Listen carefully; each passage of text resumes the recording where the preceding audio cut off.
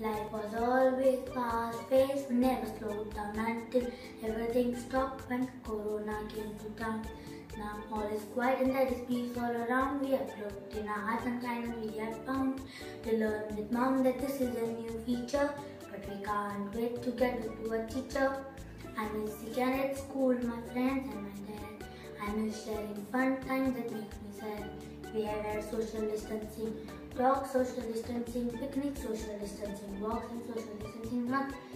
We are moving forward of getting away, the beach, the hotel and a perfect holiday. When it is, I'll throw my arms wide open and shout to the world, we can all go outside. And don't give up, hope the end is in sight. If we all stick together, we will win this fight. Thank you.